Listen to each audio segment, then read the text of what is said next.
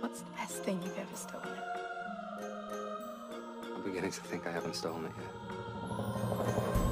you the.